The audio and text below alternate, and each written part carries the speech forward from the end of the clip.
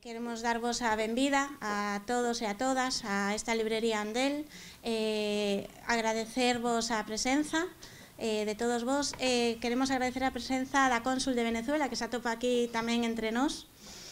Eh, dentro do, dos actos que organizamos eh, dende Mar de Lumes, eh, nos actos eh, concretamente de denuncia eh, sobre os ataques imperialistas que se veñen dando contra Venezuela, Pois esta tarde queremos eh, centrarnos especialmente nos ataques eh, que se producen dende os medios de comunicación, dende a prensa. Para iso contamos por un lado con Bruno Carballo, que é xornalista portugués,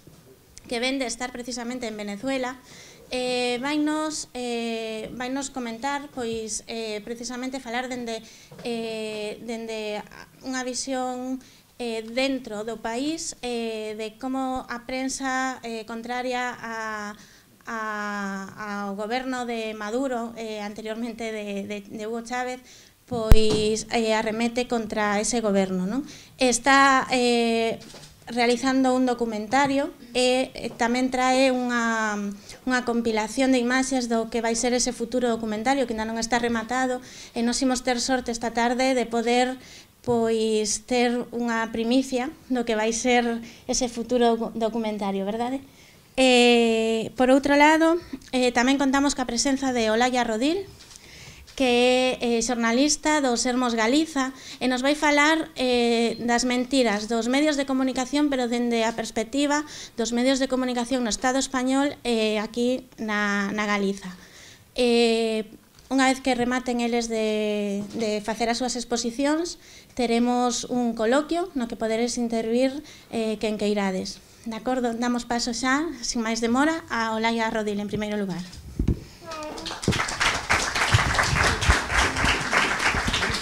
Este é o que proxecto.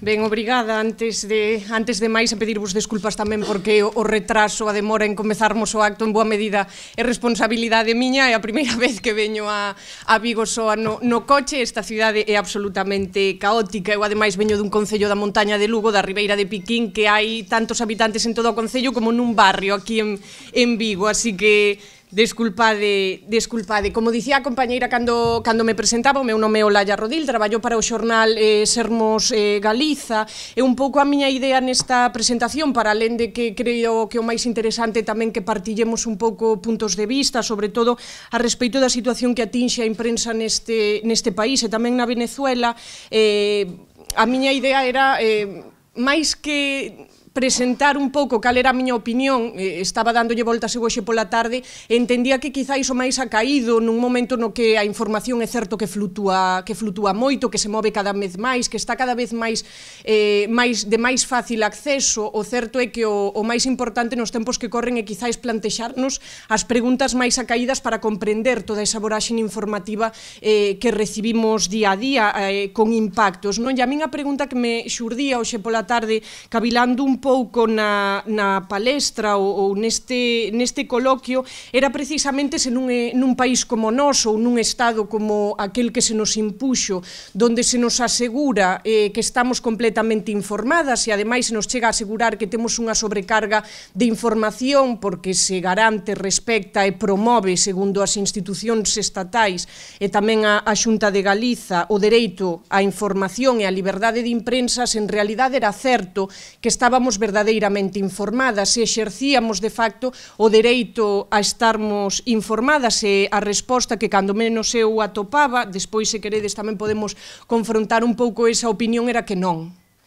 que non e había dúas razóns fundamentais polas que eu entendía que non estábamos eh, ou non se nos garantía ese dereito á información. O primeiro é que porque a pesar de que se nos vende esa idea de que existen unha morea de cabeceiras, unha cantidade inxente de portais de información, cada vez máis canles de televisión, o certo é que todas esas pequenas eh, fiestras informativas pertencen a un pequeno grupo de empresas, non a grandes grupos mediáticos, tanto aquí na Galiza, no conxunto do Estado español, no continente europeo como no, no panorama mundo existen pequenos grupos empresariais que no fondo son grandes entramados empresariais que controlan a maior parte desas cabeceiras, desas canles eh, de televisión e desas, desas, eh, deses portais de información eh, virtual. E para alén diso, afondaba ou rascaba un pouquiño máis intentando resolver esa cuestión que me plantexaba é que eh, non radica única exclusivamente o exercicio do dereito á información en que contemos cun amplo abano de cabeceiras, de nomes, eh, de empresas, de grupos máis ou menos independentes, senón que en boa medida radica ese dereito á información tamén na focaxe informativa coa que se nos plantexan as informacións, coas que se nos dá a coñecer a nosa realidade máis inmediata. En ese senso, eu creo que aí estaremos máis ou menos todas de acordo, o que recibimos día a día é un discurso completamente plano. É dicir, a focaxe na que se nos presenta a realidade é exactamente igual aínda que as empresas ou esas cabeceiras se nos presenten como completamente distintas. Non podemos coller o que se presentou como un xornal eh, progresista, máis ou menos aliñado coa esquerda española como podía ser el país, e podemos coller perfectamente unha cabeceira eh, como pode ser La Razón ou El Mundo, e poderemos ler unha información a respeito da Ucraína, a respeito eh, da Venezuela ou a respeito de Galiza, e serán completamente iguais. O discurso, a focaxe informativa legislativa será completamente plana. En ese sentido, non podemos exercer o noso dereito a recibirmos unha información eh, libre porque simple e llanamente o que recibimos é única exclusivamente un discurso, non? Unha perspectiva de análise desa realidade en tanto en canto só recibimos esa perspectiva non podemos facernos unha composición de lugar das cousas. E eu esta tarde dándolle voltas lembraba, non sei se vos eh, lembrades un, un spot publicitario eh, de Antena 3 hai bastantes anos cando Antena 3 pretendía pretendía lanzar o seu telediario non un pouco como alternativa a eses eh, telediarios da canle pública española e das canles eh, territoriais, eh, había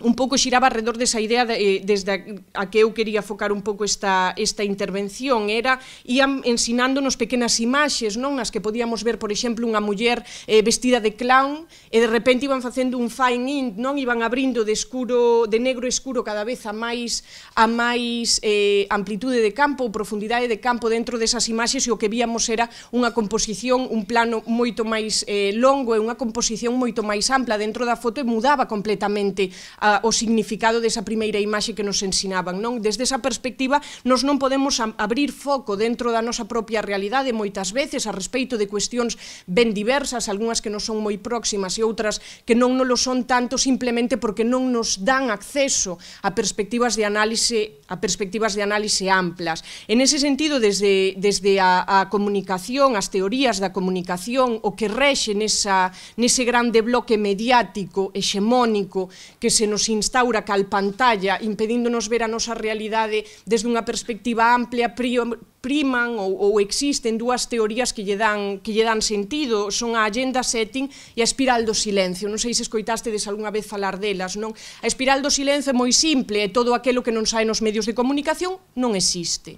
E desde esa perspectiva moitísimas veces descoñecemos aquelo que está pasando na nosa contorna máis inmediata, ao lado da casa que ten moitísimo a ver coas nosas vidas que nos atinxe ou nos afecta de maneira eh, substancial, pero que descoñecemos simplemente porque os medios de comunicación, a imprensa, nin a radio, nin a televisión, nin as cabeceiras dos xornais falan diso, non? Eh, eu lembraba cando presentábamos Hermos Galiza o proxecto, cando comezaba a xermolar, Xurxo Souto sempre o dicía nas presentacións públicas, non? Somos capaces de saber cal cal é a última tendencia en Nova York ou cal é o último tema de conversación nunha taberna en Berlín, pero somos incapaces de saber que é o que está a acontecer en Cangas, as nosas compatriotas canguesas ou da montaña de Lugo como, como é o meu caso. E dentro desas informacións que si superan esa espiral do silencio, que si chegan a presentarse nos, nos medios da comunicación o que fan as empresas a través das súas liñas editoriais, a través deses intereses políticos e económicos que arrexen estratificalas e xerarquizalas,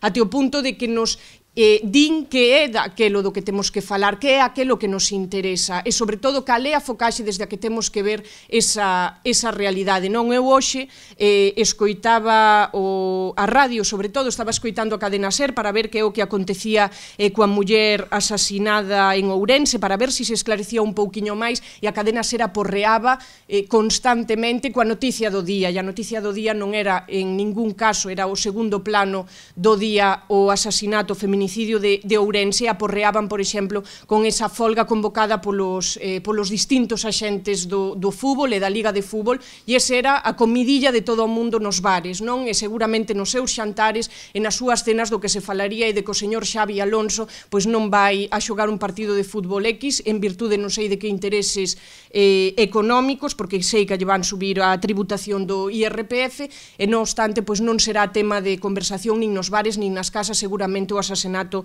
de María Isabel Fuentes, que cumpriría que sí que fose tema de conversación para que este país paralizase dunha vez e por todas cada vez que nos asasinan, neste caso, ademais, dunha maneira moi sangrante, se cabe todavía, non? Porque foi dentro dunha administración pública coa responsabilidade que iso carrexa para o goberno da Xunta de Galiza e para todas nós, non? Que tamén somos eh, responsáveis. Iso era un pouco o que eu vos quería presentar aquí, creo que o máis interesante que fale Bruno, que coñece ademais moito mellor e máis polo miúdo a, a realidade da Venezuela, que é o, o tema principal hoxe aquí, pero eu si quería deixar esas pinceladas, non? Que eu creo que si que se reproducen tamén no caso eh, das informacións que, que atinxen e xiran arredor do que acontece na Venezuela, ou xa o decía tamén da Siria ou, ou, da, ou da Ucraína, non? Ou, ou do conflito de Euskal Herria, por exemplo, que tamén está de, de actualidade despois do comunicado de, da Organización Armada ETA onte, non? A nos o que se nos transmiten son aquelas cuestións e aquelas focaxes que interesan política e económicamente os poderes hexemónicos e dentro deses poderes hexemónicos